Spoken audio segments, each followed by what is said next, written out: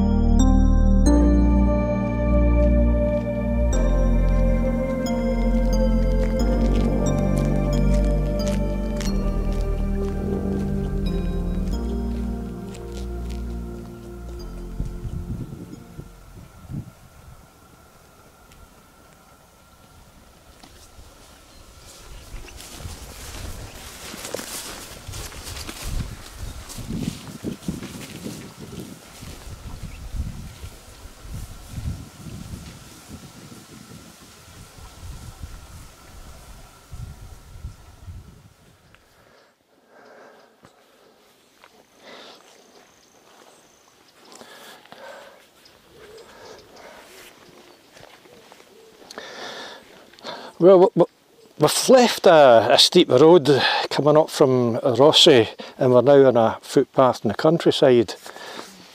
Sometimes, sometimes in these walks it can be a little bit confusing and you're not sure which way to go. There's an awful lot of flies here. Um, I mean, there's a sign there. It's pointing towards the West Island Way and it's pointing in that direction. But it's not positioned on that fence post there, saying it's that way. It's positioned there and you're thinking, do I go through that big fence or not? And that's why it's important to have a map with you, because I, I, wasn't sure there, and I'm, um, I looked at my map, and I could see that roundabout now, we do actually turn left, i.e. that way, and it's at a steading called Gartans, Gortans. And if I just peek around there, I can actually see a building. So it, I'm quite happy in that this is in fact the way to go for a short distance and we'll turn right again. Um, as far as the, uh, travel for today is concerned, I, I got a ferry from Wemyss Bay, which is probably pronounced wrong. The bus driver corrected me and said Weems Bay. Why don't we just call it Wee Mice Bay, just to really noise folk up. Um, so, and you know, you can get a, a, a, bus or a train to Wemyss Bay from Glasgow, or I'm sure other places. Ferry from there to Rothesay, or which is on the island, Isle of Bute. Um, and from round about the Tourist Information Centre in Rothesay, you just head up Gallowgate, then onto Bridge End Street, then Hill House Road, Westland Road, and you, are turning right just before um, Westland Farm. And this path, it was sort of bypassing Port Bannatyne then we'll go back onto the road for a wee bit. We'll head up onto the hills, Kaimes Hill and Windy Hill. Uh, we're actually going to the top of Kaimes Hill. Then we're, we're kind of not quite going to the top of Windy Hill and we'll start to cut down and uh, you know at that point we're going to be sheltered I think from the little bit of wind that there is around.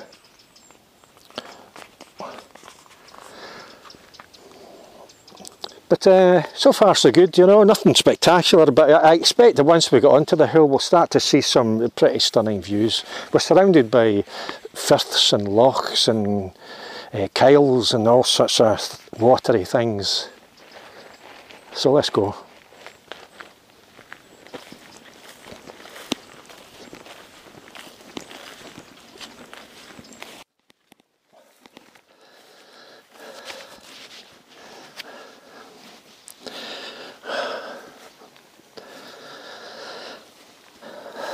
Okay, that's how easy it is to make a mistake. Ignore what I've just said back there. This is not the path. I was thinking this is very muddy. It's also looked fairly well trodden, which suggests to me that a lot of people have made the same mistake that I had just done. It goes on for a bit, very, very muddy, then it just stops. And you think, here we go. here we go. Um, so it's looking very much as if I should have gone through that gate. Um, perhaps I should have been just a little bit nearer the steading of Gortans before turning left. But you know, it's, it's slightly misleading. That's how easy it is to get mixed up. I think the sign on the gate would perhaps have been better if it had been pointing straight ahead, then another uh, sign after that saying turn left. Because saying left at the gate and you can see that little opening that I came through, dead easy to get confused, well trodden path, as I say lots of people have done the exact same thing. So that's, that's something that needs sorted. I feel an email, an, an email coming on to whoever is responsible for the uh, the island, uh, the, the, West Island Way. Anyway, let's go back and we'll uh, pick up the correct path.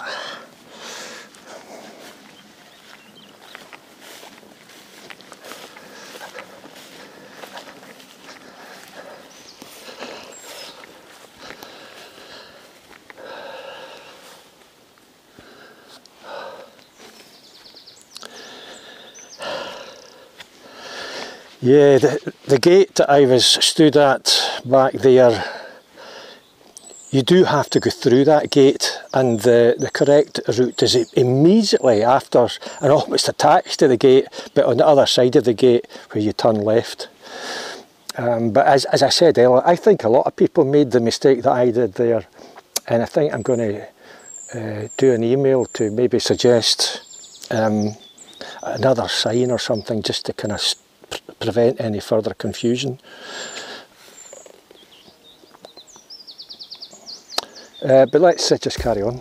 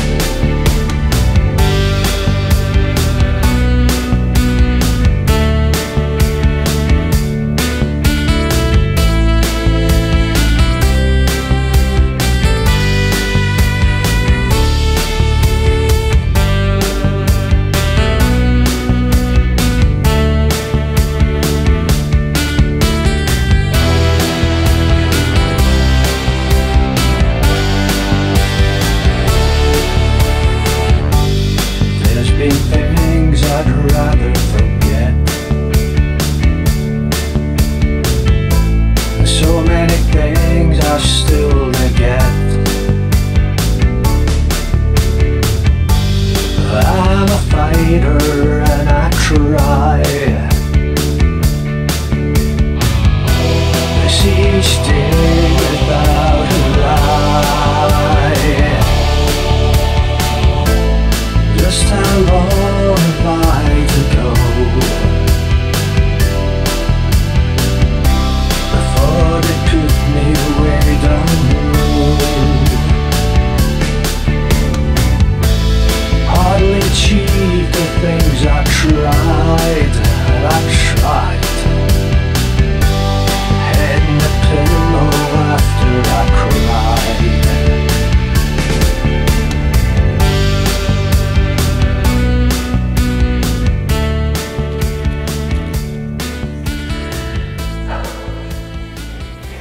it's a very muddy and a very boggy path that not really very pleasant if I'm honest.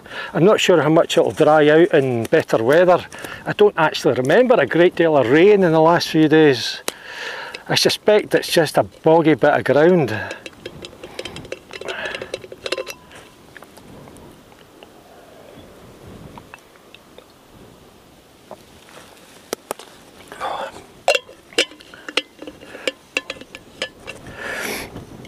And that, um, that tripod's a nightmare.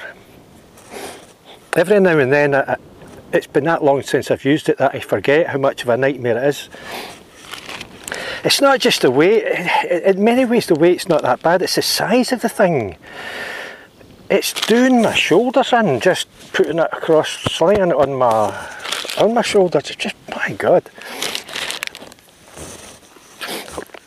I will probably end up trading it in for something just a wee bit lighter. My god, there's clegs here as well. Can things possibly get any worse? Bogs and clegs.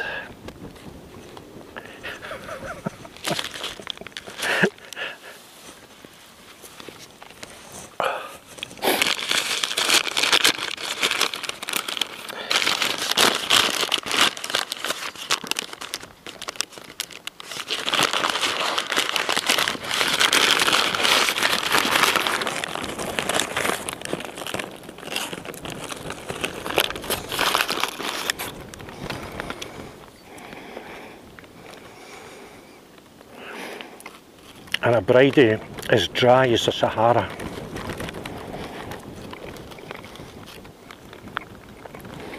It's meant to be served hot, right enough. I should have got it hot.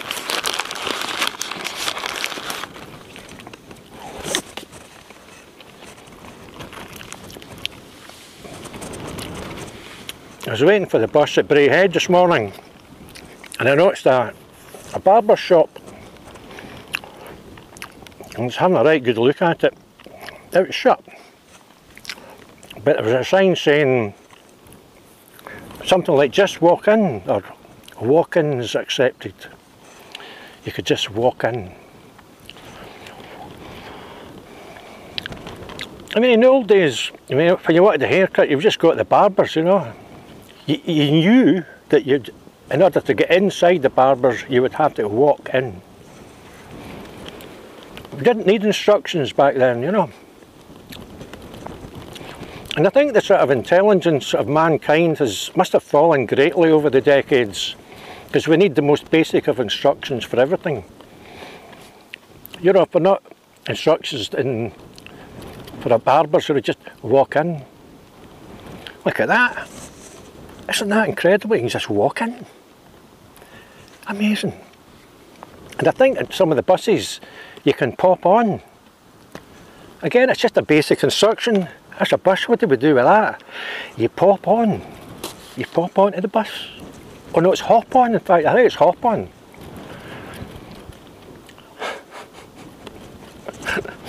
Even hotels, you know, hotels have got the most basic of instructions on their exterior. Eat, sleep, relax. Like, you know, folk have never seen a hotel before and they would be unsure how to deal with it. What's that big building for? Let me see now. Uh. Eat, sleep, relax. Ah, I get. I've got it now.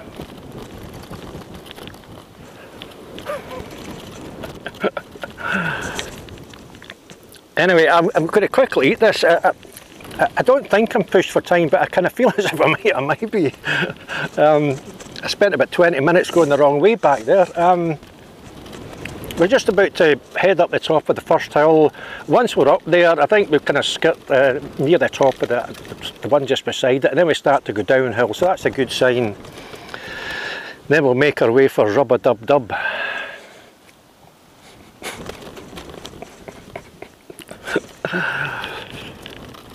so I'll see you shortly.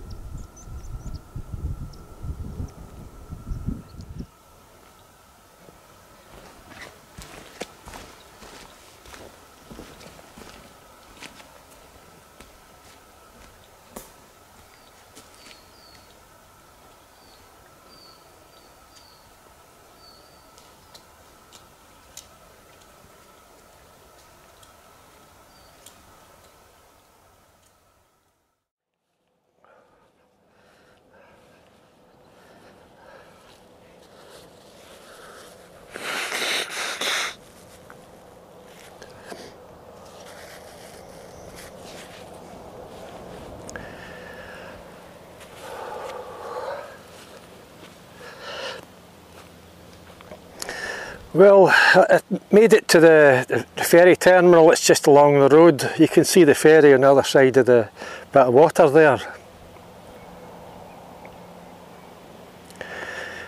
Uh, that, that, that tripod's a nightmare. A bit of it fell off when I was up on the hill. One of the tightening screws.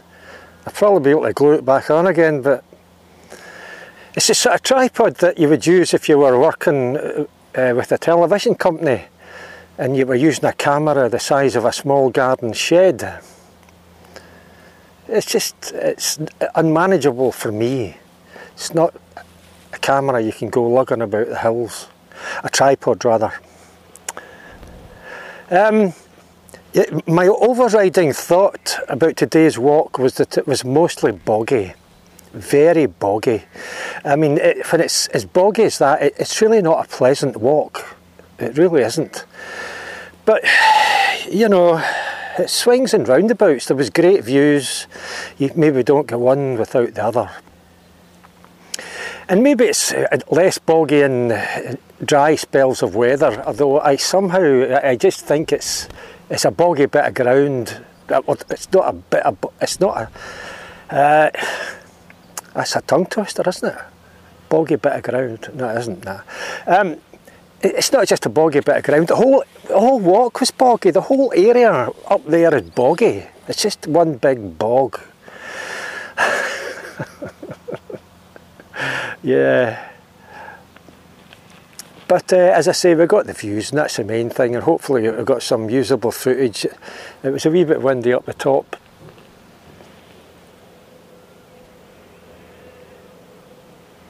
So I'll get a bus from here at 20 in 40 minutes, I'm slightly early. Um, back to Rothesay, then the ferry back to Wemyss Bay, then a bus back to Glasgow. Although it, the buses from Wemyss Bay back to Glasgow, um, sort of later on in the evening, they don't go to Glasgow, they stop at Greenock.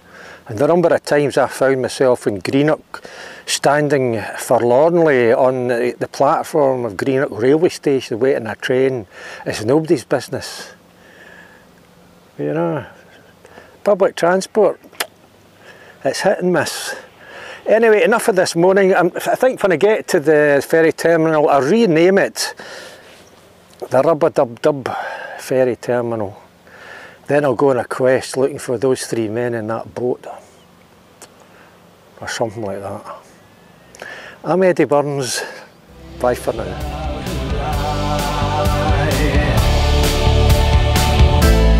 Just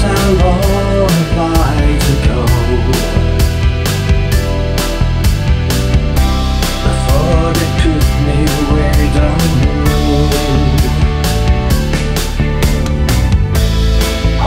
achieve the things I tried I tried. Head in the pillow after I cried.